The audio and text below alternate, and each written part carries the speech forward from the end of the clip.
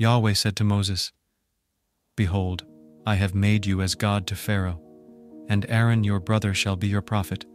You shall speak all that I command you, and Aaron your brother shall speak to Pharaoh, that he let the children of Israel go out of his land. I will harden Pharaoh's heart, and multiply my signs and my wonders in the land of Egypt.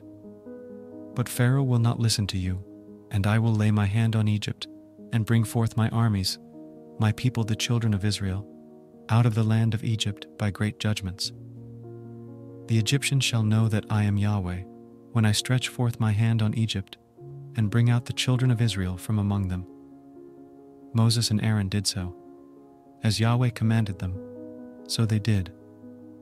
Moses was 80 years old and Aaron 83 years old when they spoke to Pharaoh. Yahweh spoke to Moses and to Aaron, saying, When Pharaoh speaks to you, saying, Perform a miracle, then you shall tell Aaron, Take your rod and cast it down before Pharaoh, that it become a serpent. Moses and Aaron went into Pharaoh, and they did so, as Yahweh had commanded. And Aaron cast down his rod before Pharaoh and before his servants, and it became a serpent. Then Pharaoh also called for the wise men and the sorcerers.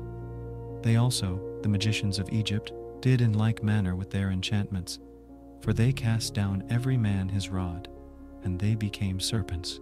But Aaron's rod swallowed up their rods. Pharaoh's heart was hardened, and he didn't listen to them, as Yahweh had spoken.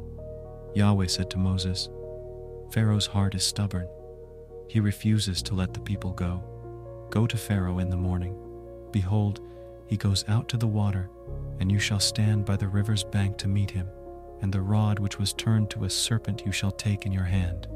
You shall tell him, Yahweh, the God of the Hebrews, has sent me to you, saying, Let my people go, that they may serve me in the wilderness.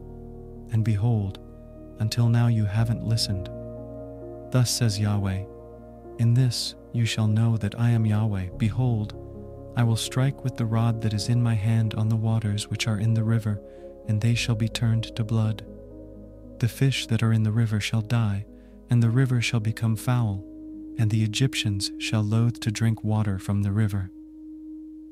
Yahweh said to Moses, Tell Aaron, Take your rod and stretch out your hand over the waters of Egypt, over their rivers, over their streams, and over their pools, and over all their ponds of water that they may become blood. And there shall be blood throughout all the land of Egypt, both in vessels of wood and in vessels of stone. Moses and Aaron did so as Yahweh commanded. And he lifted up the rod and struck the waters that were in the river, in the sight of Pharaoh and in the sight of his servants. And all the waters that were in the river were turned to blood. The fish that were in the river died, and the river became foul and the Egyptians couldn't drink water from the river, and the blood was throughout all the land of Egypt. The magicians of Egypt did in like manner with their enchantments, and Pharaoh's heart was hardened, and he didn't listen to them, as Yahweh had spoken. Pharaoh turned and went into his house. Neither did he lay even this to heart. All the Egyptians dug round about the river for water to drink, for they couldn't drink of the water of the river. Seven days were fulfilled after Yahweh had struck the river